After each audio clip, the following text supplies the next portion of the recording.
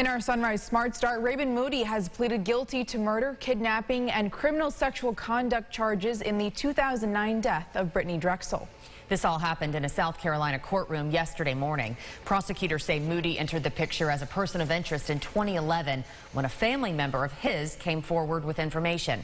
According to Moody, he lured 17-year-old Drexel into his vehicle to party, and they then went to Moody's campsite. That's where authorities believe that Brittanee died. The defendant was and is, a, and I'm sorry, a perverted, sick monster. That this should never happen to anyone ever again. My heart is broken, my life forever changed. So many lives destroyed by your selfish actions. Prosecutors say they'll never know exactly what happened that night. Brittanee's family will be holding a celebration of her life Friday in the Myrtle Beach area to thank that community for their support and for never giving up on solving Brittanee's murder. Brittanee's mom also blamed Moody for ruining the lives of other people who were falsely accused in her daughter's death including Timothy Taylor, who was accused in 2016. Taylor's family sat behind Moody as he was sentenced to life in prison yesterday. Following the hearing, Timothy's mother, Joanne, said she's happy the Drexel family has received justice, but says her family's journey for justice won't end with Moody's plea. Forever be linked to Brittanee Drexel because of a lie. As a result, Timothy and our family have endured years of pain and suffering. We lost friends, we lost jobs, we were followed, we were harassed, we received death threats, and this trauma will take years to heal. Part of the healing, she says, will come when those responsible for bringing Timothy's name into the Drexel case acknowledge the mistake and utter the words that her son was falsely accused. The man accused of attacking gubernatorial candidate Congressman Lee Zeldin at a local VFW in July will be released next week under strict conditions. David Jakubonis has been in jail since the incident. Yesterday, the Army veteran was able to get into a PTSD and alcohol recovery program with the VA. He will also have to wear two different monitors, one a GPS and the other that will track his alcohol intake. The Kirk Ashton trial could be wrapping up this morning. Ashton, the former Northwood Elementary School principal in Hilton, is facing allegations of sexual abuse reported by more than 20 students. Prosecutors finished with their last witness, then rested their case yesterday. And this morning, the defense will have the opportunity to call witnesses. If they don't, then closing arguments will begin. All right, let's check in now with meteorologist James Gilbert. James, hopefully today is a good morning for a morning walk, or you might need the umbrella. Uh, this is the morning walk where you go if you have to go on a you morning walk. Like if you have an animal, right? Yeah, yeah. To get them uh, some time outside. Yeah, exactly. If it's an optional choice for you, maybe you can wait for another day. Not the prettiest to start. Uh, don't let it stop you. Uh, just make sure you dress for it. That's all. Winter jacket worthy. Uh, maybe watch out for a light drizzle here and there. It's just barely worth the umbrella, but no, I wouldn't uh, blame you if you did want to bring it out with you. A little breezy there with the southwest wind at 9 miles per hour. Not much of an improvement. We are well below average, but we flipped the script. We'll look at the extended forecast as well as see what's going on at the bus stop at the end of the show. Casey, Mel? All right, James, thank you. Taking one last look at the roads this morning. Things are still looking really good out there. No new accidents to report. Just be aware if it is drizzling where you are, there might be some wet roads, so take it easy this morning. A recent study shows chemical hair straightening is linked to uterine cancer, and black women are at an even higher risk due to using those chemicals more often. News 8's Chatara Marsh has been following up on this study by speaking with local experts. She joins us now in studio with more. Chatara, good morning. Casey, Amel, good morning. In a study led by the National Institute of Health Sciences, roughly 33,000 U.S. women between the ages of 35 and 74 participated in an 11-year study. 378 uterine cancer cases were found. Uterine cancer accounts for 3% of all new cancer cases, but it is the most common cancer of the female reproductive system, with 65,950 estimated new cases in the year 2022. Studies have shown that rates of uterine cancer have been rising in the United States, particularly among black women.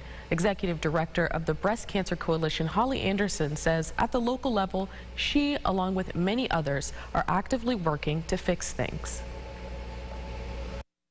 We at the Breast Cancer Coalition are working very hard on what's called the safe cosmetics and personal care products at this at New York State level. Um, we've made a lot of progress in the Assembly, uh, a little less progress in the Senate, but we're working really hard on this legislation that would educate women um, and require manufacturers to actually label the product with what the, um, the chemicals of concern are. Anderson says she is also in a focus group of women who are having these discussions on what can be done in the community to keep women heard and safe. In the studio, Jatira Marsh, News 8. All right, Jatira, thank you. If you're interested in joining that group to learn more, you can find out how to do so over on our website, rochesterfirst.com. A quick COVID update this morning. Governor Kathy Hochul announcing the bivalent COVID boosters are now available for children ages 5 to 11 in New York. This comes after the FDA updated its guidance on the new boosters to include this age group. Hochul says she's hoping this will help protect families against new strains as we head into the colder months. The women-led construction of the National Women's Hall of Fame entered a new phase as organizers broke ground on the hall's second floor. It will be completely transformed, becoming the new home of the actual Hall of Fame. The building's architecture, including the spiral staircase and limestone exterior, will be restored as part of the project, and some modern elements like a new elevator will be added. And as we mentioned, the folks making this all happen are women from LeChase Construction Services. You have a chance to score discounted tickets to see Hamilton the musical. The Rochester Broadway Theater League will be hosting a lottery.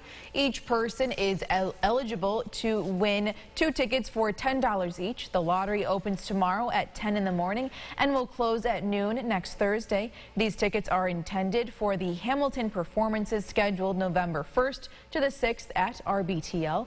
Another lottery for tickets to shows will be held on November 8th to the 13th, and that will be held next Friday. To enter this lottery, download the official Hamilton app on your smartphone. This is your shot.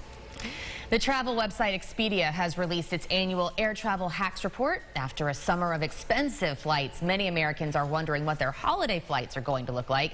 Some reports indicate Thanksgiving and Christmas airfares will be at their highest in five years. The annual report says the best day to fly is the Friday before Thanksgiving or the day of. For Christmas, it's the weekend before.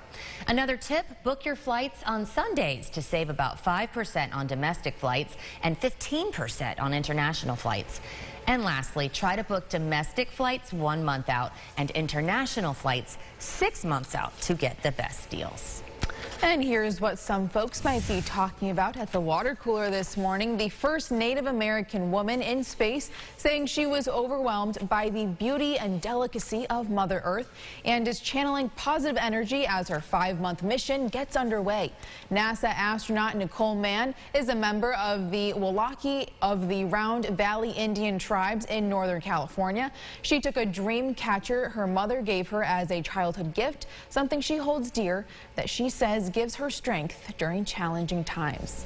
What a beautiful memory there and love seeing firsts happen. Yeah. Can't really think of something better to take. She really nailed it on that one. Yes. Wow.